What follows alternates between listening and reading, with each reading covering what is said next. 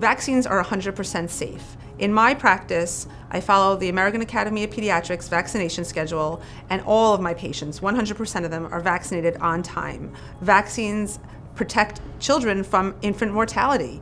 And um, a lot of the information out there on the internet and in books um, is not science-based evidence and uh, might be one author's opinion and it might be an anecdote that was not validated and it causes mass hysteria in the uh, in the world of parenting. There are a lot of people out there that have strong voices about um, being against vaccines and they've done a huge disservice to the children of this country.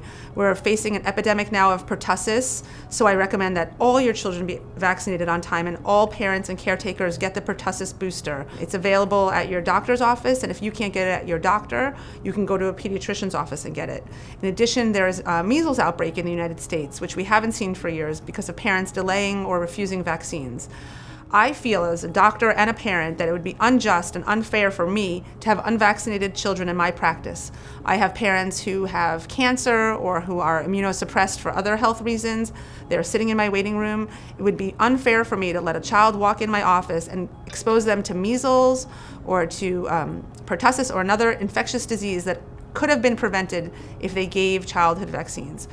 Vaccines do not cause autism. All of that research has been debunked. It's a myth. It's hysteria. Honestly, we wish we knew what causes autism, but it is not the vaccines.